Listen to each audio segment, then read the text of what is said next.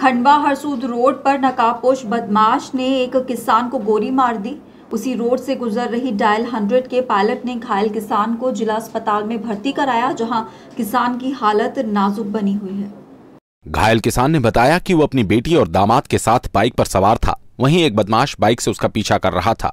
राय के पास आकर बदमाश ने गोली मारी और मौके से फरार हो गया पीछे से साइड से बिल्कुल उड़ा के चला गया तो मैंने बोला कि पौना जी मेरे को मेरे को किसी ने मार दिया और गोली यार और आवाज़ ऐसी जाने जगह से तो फिर मैं घर जाके तो मैं बिल्कुल ऐसे बेहोश हो गया।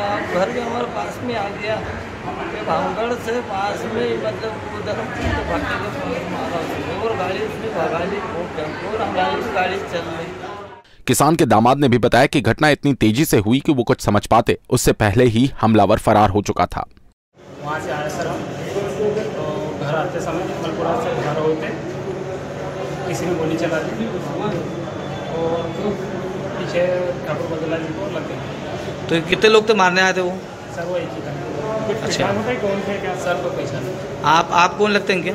सर उनका दामाद काय के लिए गोली चली सर ये तो पता नहीं कि काय के लिए चले। और मुँह वाला था पूरा तरह से। गाड़ी नहीं थी।